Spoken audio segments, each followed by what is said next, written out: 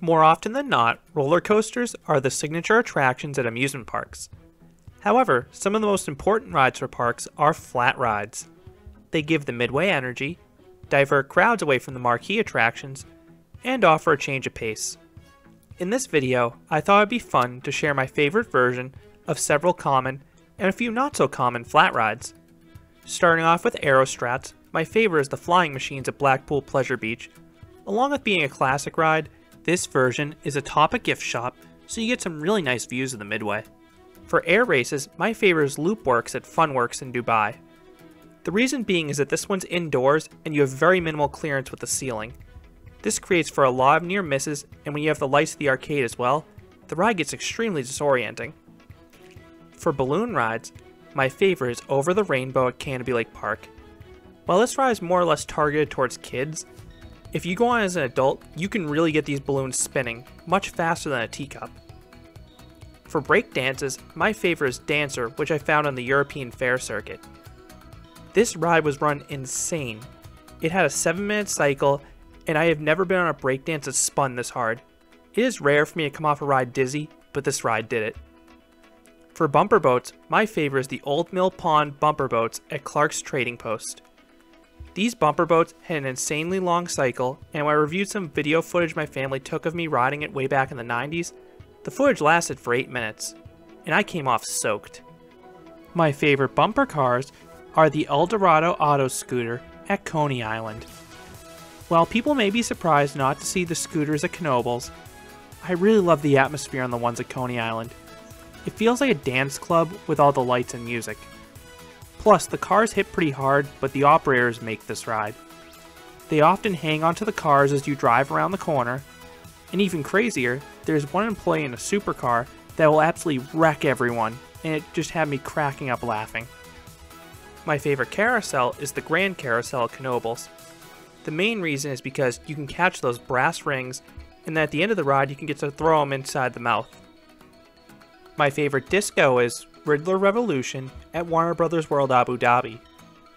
Warner Bros. World is already an indoor park, but Riddler Revolution is placed in this little warehouse inside the indoor building, and that warehouse has all sorts of lighting and fog effects that make the ride even more dizzying than normal.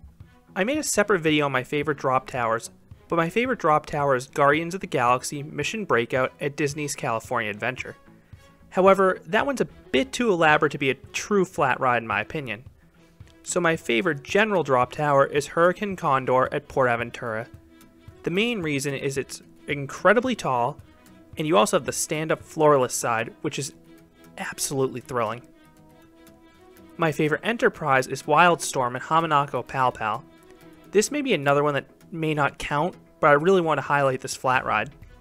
This ride looks similar to the Zamperla Endeavors that have been introduced, except the seats are able to rock at various points during the ride. This results in pure mayhem as you're wildly rocking while simultaneously flipping upside down at a very fast rate. My favorite Ferris wheel is the Wonder Wheel at Deno's Wonder Wheel Park.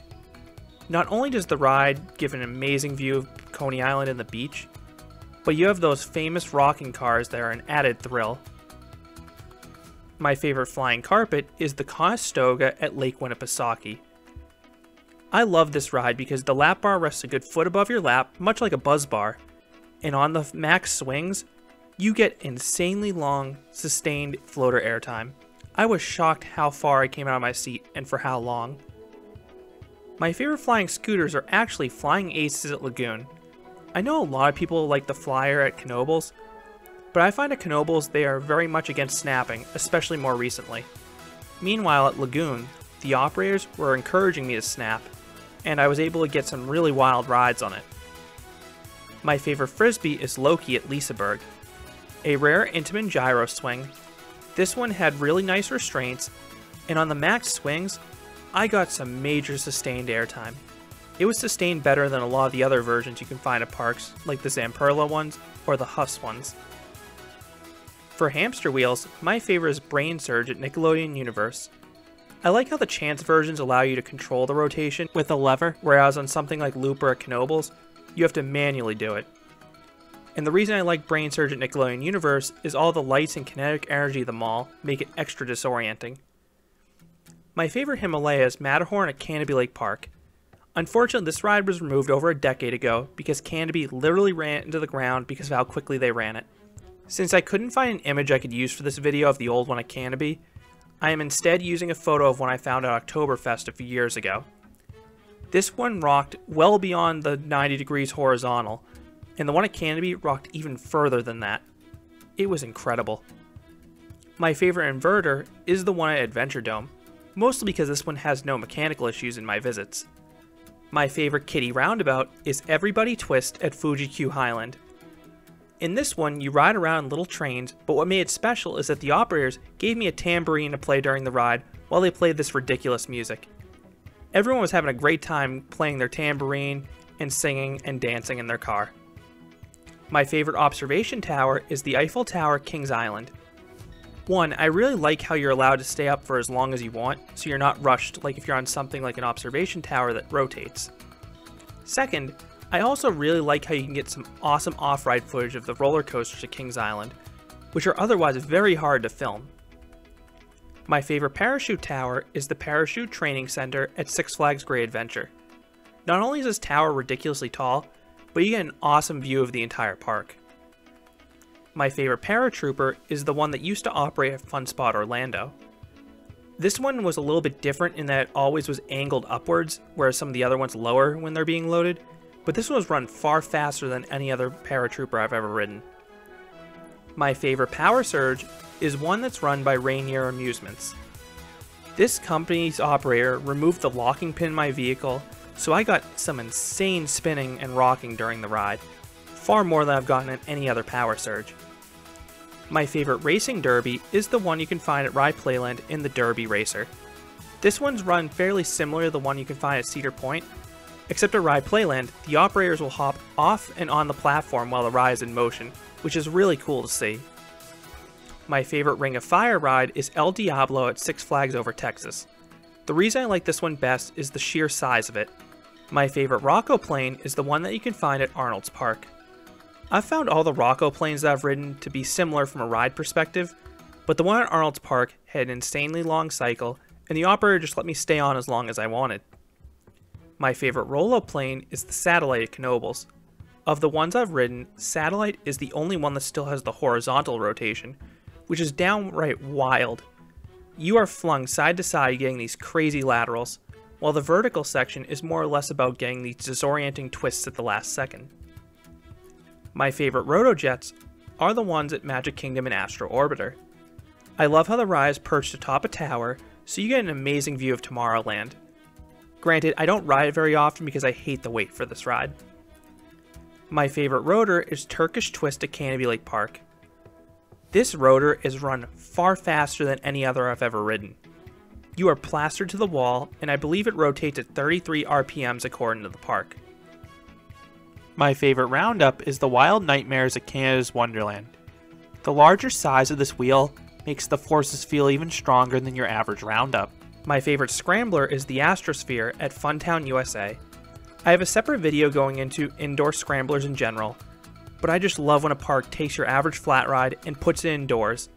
And the Astrosphere is the best one of this example because the light show is spectacular and it's an attraction in itself. My favorite Screamin' Swing is UppSwinget at Liseberg. Please note I have not been to Glenwood Caverns, but the one at Liseberg has a similar effect, much to a lesser extent. This one is perched atop a hill, so when you swing outwards, you're staring downwards a good 50 or 60 feet, and you have the usual sustained airtime on the max swings. My favorite shake is the shake on the European Fair Circuit. The reason being, much like the breakdance I mentioned earlier, this one just ran an insane cycle. It was run faster and far longer than any park version I've come across. I was surprised I liked this one better than Tik Tak at Tivoli Gardens, and while Tik Tak looks amazing with that lighting package and theming, it's just not run nearly as intensely as the one on the European Fair Circuit. My favorite Sky Coaster is the Sky Coaster at Fun Spot Kissimmee. The main reason being is the world's tallest sky coaster. So the drop lasts longer, and this ride's so good, it has spoiled a lot of the smaller sky coasters for me. My favorite skyscraper is Vertigo at Tivoli Gardens. This may be cheating to call this a skyscraper, but it's the ride that it's closest to in my opinion. Vertigo pulls the best sustained positive G's of any ride and you're pretty much guaranteed to gray out. You also have amazing views of downtown Copenhagen, and it's extremely disorienting with all the twisting and inverting as well. My favorite sky roller is Squadron 33 at Playland's Castaway Cove. This one is easier to flip than the Gerstlauer versions, and the ride offers a much more diverse range of sensations. You get some fast rotations towards the bottom, and at the top, the rotations are more drawn out, so you get some nice hang time over the top. My favorite slingshot is the Super Sling at Bigfoot Fun Park in Missouri. I like this one far better than the traditional slingshots because you're much more exposed with that saddle seating arrangement. And on this one, I find you can get way more flips because you're able to throw your weight into it and add some flips on the way down. My favorite spider is the Polypin at Bakken. This one ran a much longer cycle than the other spiders I've ridden, and this one also seemed to run a bit faster as well. My favorite spinout is Havoc at Galaxyland. Like the air race I mentioned earlier, the reason I prefer this spinout best is because it's indoors and it's extremely disorienting with all the lights of Galaxyland. My favorite star flyer is the Windseeker at Cedar Point. I know it's technically a Mondial version. I just love how this ride brings you up so high in the air, you get an amazing view of Cedar Point's skyline, and it feels like you're literally right over the water when you're spinning at the top of the tower. It's just a shame the ride doesn't operate more because of the wind issues. My favorite swing around is the downdraft at Knoebels. This one is run a bit faster, and when you swing outwards, you actually get some airtime in this version. My favorite swinging inverter ship is Top Gun at Fiesta shows. This is a classic kamikaze ride, and because of the loose restraints, you get some freaky hang time over the top. My favorite swinging ship is the pirate ship at Palace Playland. I'm not a big fan of swinging ships, but this one is my favorite because the lap bar rests really high above your lap, and on the max swings, you get some good floater airtime because of the sheer size of the boat. My favorite swing ride is the water swings at Indiana Beach. The ride is built over the water, so you get these awesome visuals. But what really makes it special is that the swings come so freakily close to the ones in front of you. That's downright terrifying. My favorite teacup ride are the teacups at Six Flags New England.